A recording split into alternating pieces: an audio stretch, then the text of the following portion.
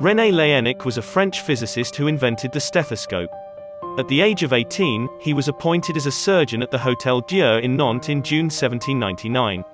Apart from his study of chest diseases, Laennec also made significant contribution to the study of peritonitis and cirrhosis. The term melanoma was coined by him to describe a type of skin cancer. In his honor, the mucus brought up by asthmatics is named Laennec's pearls.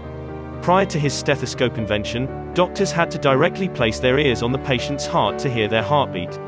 It was his shyness in placing his ear on the heart of a young female patient that led to the invention. He rolled a paper and held one end to her heart and placed his ear on the other end and listened to her heartbeat. René's stethoscope was a hollow tube of wood, which was 3.5 centimeters in diameter and 25 centimeters long. It could be fitted with a plug for listening to heartbeat. To make it easily portable, it was made up of various parts that could be assembled easily.